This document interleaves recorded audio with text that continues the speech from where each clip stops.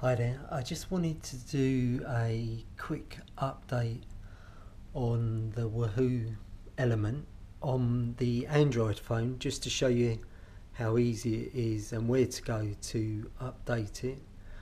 So um, I know that I've got an update waiting so I'll just show you my phone.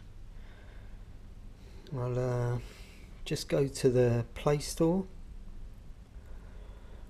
I go to the top left hand side, my apps and games. I've got a few here to update, but so there's the ELEMNT there, Wahoo Fitness. Just gonna update it. So tells you what's new, route me anywhere on the companion app, enter a destination address or point. So I'm gonna hit update there it goes. Installing.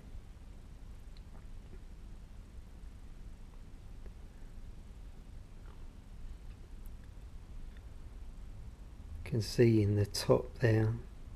See there it says ELEMNT updating ELEMNT still in the process. And there you go as quick as that. That's done now. If I scroll down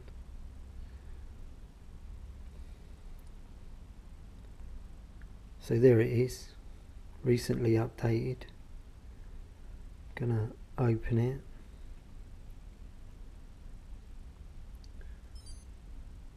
It's connected to the uh, ELEMNT it sees there it's paired up. Gonna go to settings scroll all the way down